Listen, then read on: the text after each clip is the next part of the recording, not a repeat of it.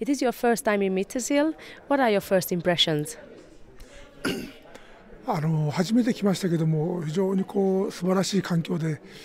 えー、気に入ってますで非常にねあの我々、えー、オーストラリア柔道連盟ミッター社の人に温かく迎えられて、えー、非常に楽しい滞在を過ごしてます。What are your What are your thoughts about Mittersil and the whole country itself? あのミッターシェルはねウィンタースポーツスキーでも非常にね素晴らしい環境あると聞いてますけどもあの私の人生の中でミッターシェルじゃないんだけどオーストラリアラブリスでスキーをやった経験というのはね非常にね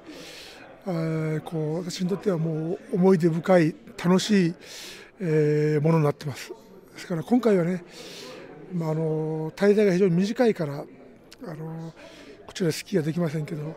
今度えー、冬来た時はねぜひこのミッターシェルでこの恵まれた環境の中でね思いっきりスキーも楽しみたいなと思ってます。Well, today we began the coaching and the refereeing seminar. It's only been a few hours that we started. What are your thoughts about it so far? あのこれはねあのこのこ、えー、コーチとレフリーのセミナーは非常に大事な会議ですけども、